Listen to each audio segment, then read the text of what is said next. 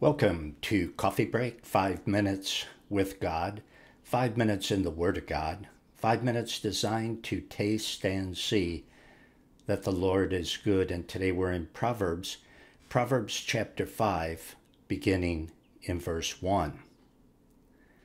My son, be attentive to my wisdom, and incline your ear to my understanding, that you may persevere. I should say that you may preserve discretion, and that your lips may keep knowledge. Discretion is another word for discernment, which is the ability to recognize right from wrong and best from good. God's Word will give you an appetite for good. And it will also give you an appetite for goodness.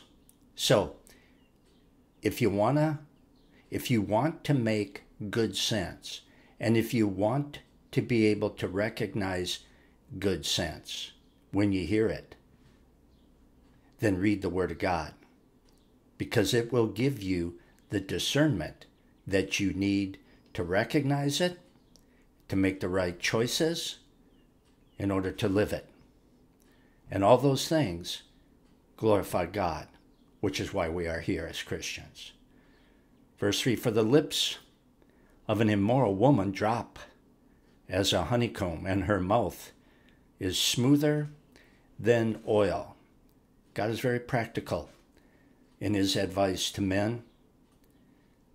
In the rest of this chapter, actually, God is saying, Watch out for fast women because they will flatter you. Their lips are like honey. They will flatter you, and they are clever, and they know how to trip you up, and you will never see it coming. They're good at doing that. Talking about immoral women. Four, but her end is bitter as wormwood, sharp as a two edged sword. God is talking about loose women here. God says that they are good at making themselves attractive. But in the end, if a man goes for it, or for them, then he's going to be sorry. It's the same with sin of all kinds, meaning that sin looks good before you do it. Oh, that's what makes a temptation a temptation, right? It looks good looks very inviting. But afterwards, you wish that you would not have done it because you feel shame, you feel guilt, and there are always consequences of one form or another for committing sin. And those consequences are never good. Verse 5 Her feet go down to death, her steps take hold on Sheol, lest you lest you should ponder the path of life. Her ways are unstable, that you can not know them. Her ways are unstable. And here you have someone who is given over to their sin, and her ways wander, and she doesn't even know it. And that is a dangerous situation for anybody to be in. Loose woman, sinful man, doesn't matter. Some people, sin so often and so long that they have a hard time recognizing that it's even a sin at this point. Their foolish mind, as I have said several times in the past, Romans chapter 1, becomes darkened and their conscience is seared and they don't see it as being wrong anymore. Do you realize how dangerous that is?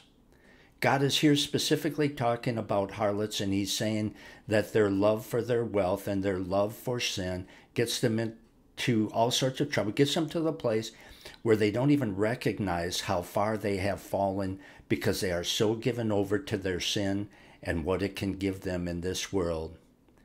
Now, it doesn't start out that way. Doesn't start out that way, but you must work through the initial guilt that you feel the first time that you commit that sin before it does get to that way. You got to work through that initial guilt. You got to ignore it And eventually, if you continue to do it, yeah, that's when it gets to be that point where you no longer even think of it as being a sin.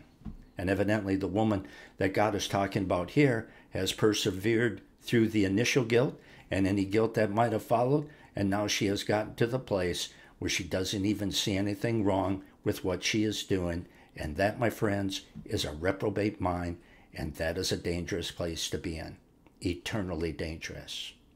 Okay, study all of God's Word with me at the BibleVerseByVerse.com. Choose, click, and listen from four complete series going through the whole Bible verse by verse. If you'd like to be a part of Scripture verse by verse, you can be by praying and coffee break. You can be by praying for me and God's Word.